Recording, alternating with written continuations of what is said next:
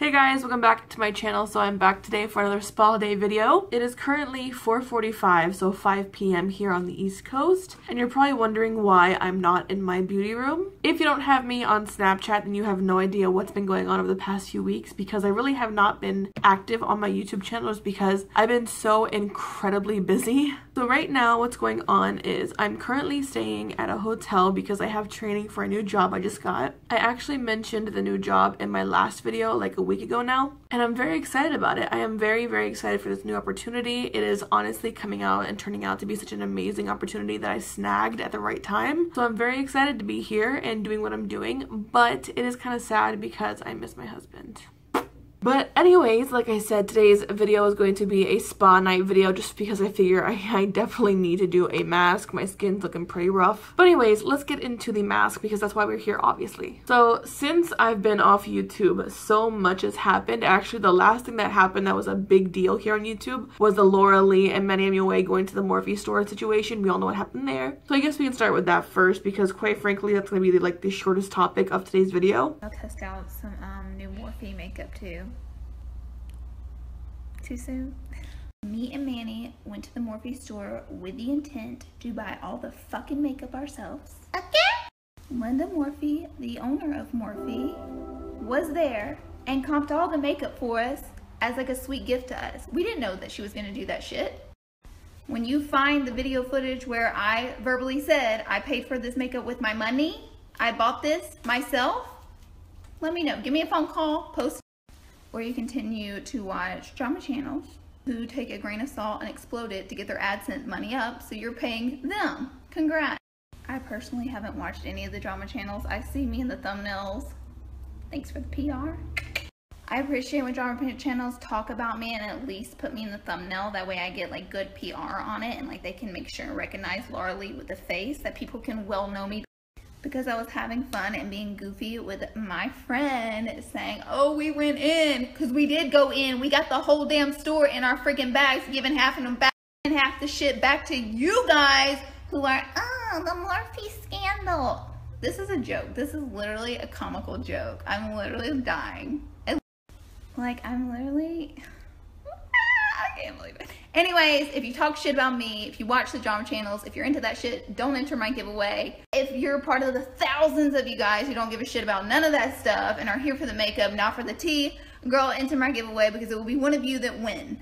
I love you guys. The stuff we got at Morphe was free, free, 99 when the whole receipt thing came to the light and everyone started going nuts about it because of all the zeros next to all the products on the receipt, that was kind of sketchy, especially since Manny had been so vocal about how he was going to buy everything or all of it in his Snapchat. But then again, I didn't give a fuck because it's not my money, so why the fuck do I care? You know what I mean? I'm one of those people who is so against people telling you how to spend your money or your time because it's your money, it's your time, you earned it, you can do what you want with that shit, you know what I mean? So I didn't really understand why everyone had a conniption about it. And I quite frankly still don't understand it to this day.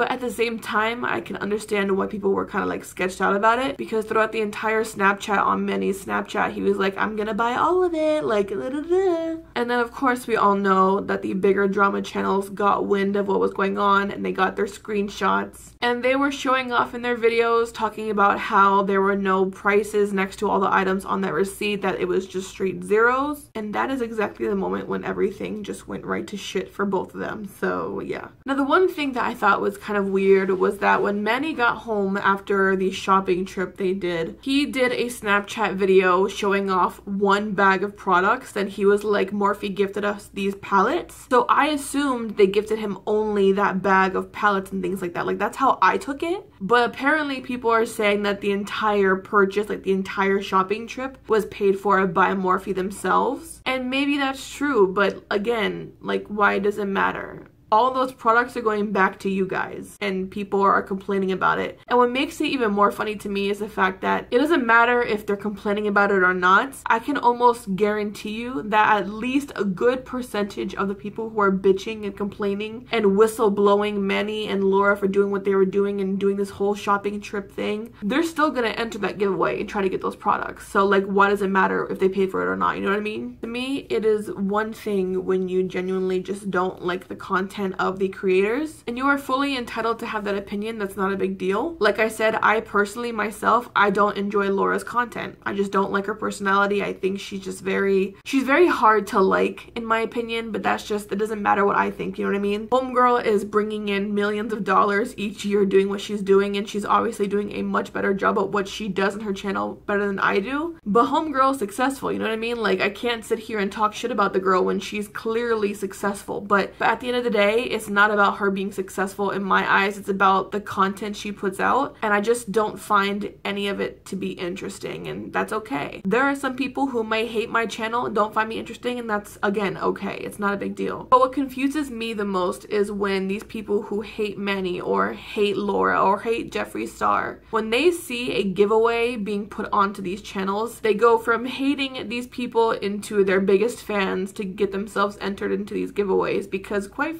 frankly, these giveaways are outrageously expensive and you can tell by the products that are in the giveaways. I myself, you will never see me enter into one of those giveaways, especially when it comes to the bigger influencers because I'm a stickler for using products well within their use by date. I don't like to use products that are even like a day after they're supposed to be used up by. Obviously, it's not safe. And no tea, no shade, but I've seen quite a few giveaways from these bigger influencers that contain products that I've seen in their backup drawers that I know have to be like a few months old, maybe even more. Because you have to think about this. These are influencers with like millions and millions of subscribers in some cases. And we all know that if you have anything over like 300,000 subscribers here in the beauty community, you get put on the PR list. That's not always the case. I'm on a few PR lists myself for a couple different brands, but their main priority as far as the brands and who they want to send their PR products to are to those influencers. So they will always get the brand new products first, obviously, because they're the ones who can get them more advertising for free. You guys know this. But these influencers get all these products sent to them every single day. I see on Manny's channel at least like one or two different unboxing hauls for PR on his Snapchat daily. Now, if you're getting all this makeup in all the time, what are you gonna do with it? Especially if you already have a regimen you're sticking to for the time being. What do you do with products that you don't wanna use at that moment in time or you can't use at that moment in time? At least here in the beauty community, you put it into your backup makeup drawer or what they call a PR drawer, which every beauty influencer has one. You can see them in their collection videos. They always have at least one or two.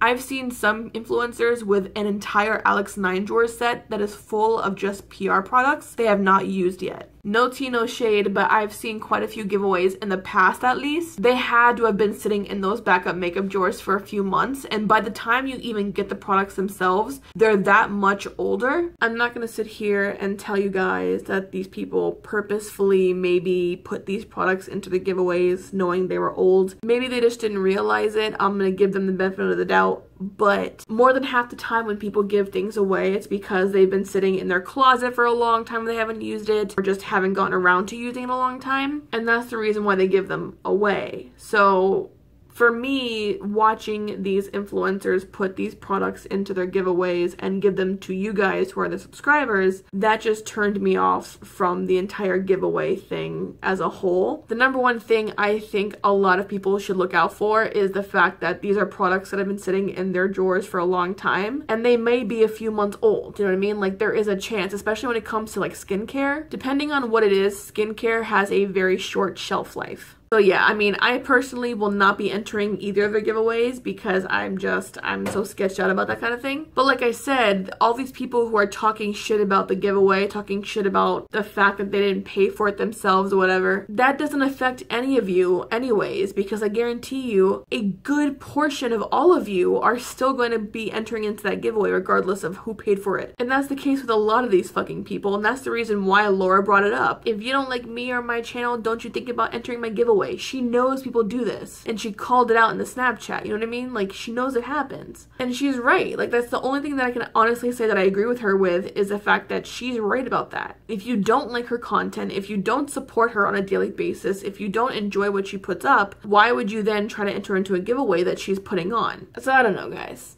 I mean, what do you guys think about it? I mean, obviously, it's very old news. It's been talked about over and over and over again, and you guys are probably like, why the fuck are you talking about it? But like I said, I don't think that they really deserve all the hate they've been getting because of this whole thing, because this is not a new thing that has happened out of nowhere. This is a very normal thing. As a matter of fact, I would bet money that more than half the giveaways they've already had on their channel have all been dealt with the same way. All products that have been paid for by the brand to be given away to you guys as your subscribers. The only difference between this giveaway and those giveaways is the fact that they weren't dumb enough to put the receipt on their fucking Snapchat and show it to the fucking world. So you wouldn't have known if they were paid for by the influencers or by the brands. You just knew you were gonna get the products if you won the giveaway. So uh, yeah, that's it about that. But I guess the last topic I want to touch on very, very briefly is uh, this.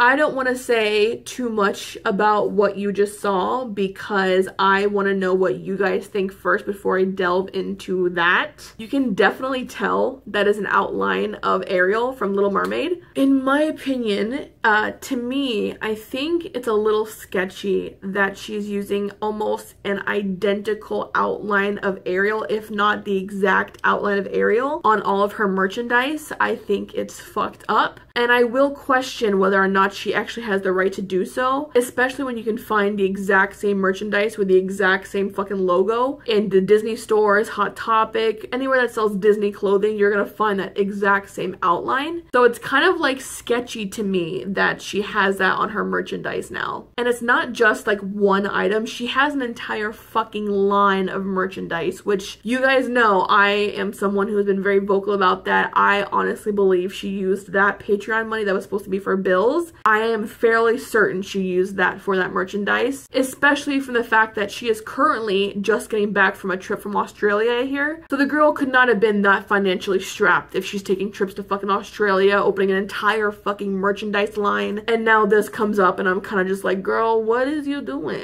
I still maintain my opinion still about this whole thing is that it's a scam. She has been scamming people. She did scam people. She continues to scam people. I think it's a fucking ripoff to donate 50 bucks in order to get a fucking Twitter follow back, but that's just me, girl. But at the end of the day, guys, I mean, nothing's gonna change, nothing's gonna stop because people keep donating to her. And it, to me, it blows my mind. And obviously, like I've said before in many other videos, just because I have a problem with it doesn't mean it's gonna stop. I'm not stupid enough and self-absorbed enough to think that way. I just wish people would be like more open-minded and actually look at what's going on and put two and two together and realize this girl is obviously lying. So uh, anyways, let's go take this mask off because it's been on for a little while and now it's all dried up and I'm ready to see how my face looks now. Alright guys, so this is my skin after the mask and I have to say my skin feels so much better. It looked a little irritated before the mask, but honestly it looks so good right now. I'm happy with the way it looks and it doesn't feel dirty. My face felt really, really dirty and normally that happens to me because especially when it comes to traveling days, I feel like your face and your skin goes through so much shit. So to take some time to yourself and to do a mask and make sure your skin looks the best that it can, I think is a very, very good thing to do it every once in a while, which is why I have these videos with you guys. But um, um, hopefully you guys enjoyed this video. If you did, give it a thumbs up. As always with all these videos, if you guys have an opinion about anything discussed in this video, leave them all down below as well as any requests or any ideas for future videos. And I will see you guys in my next video. I love you guys so, so much. Bye!